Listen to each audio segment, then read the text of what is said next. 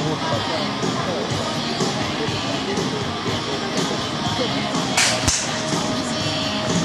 やみんないいスタート切ったぞゲートうまく合わせていったいいかどうだ出るのかいいぞ出川出川うまいでな横地動画がいいこのスパート出しては早かったです。ねあとは少し今余裕があるのか第2マークどうだ後ろから横地タイガーが迫ってくるタイガーが迫ってくるしかし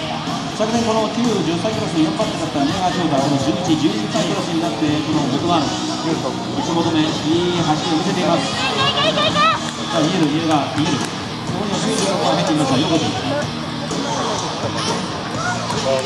全選手を呼びに